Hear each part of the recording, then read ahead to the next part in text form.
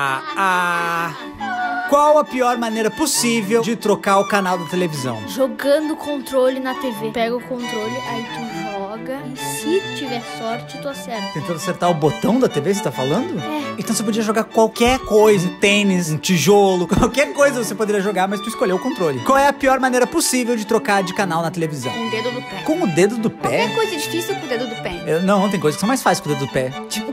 Usar chinelo. Se a pessoa não tiver dedão, ela pode usar chinelo? Ela tem que usar aqueles rider, que é uma faixa só. o dedo no pé é pra mexer no controle ou na TV? Com controle? Não sei não, hein? Parece que é uma maneira média. Sabe qual que eu acho que é a pior maneira possível de trocar o canal na televisão? Indo até o estúdio da Globo e trocando lá pelo SBT. Bah. Invadindo lá dentro. Com licença, Faustão. Com licença, Thiago Leifert. Aí eu vou lá e troco os cabos assim, ó. E pá! E aí começa a passar SBT na Globo. Mas, Erika, eu tenho quase certeza que não funciona como as telefonistas antigamente. Já é difícil entrar lá dentro. Ah, mas daí também é minha tentativa, pô.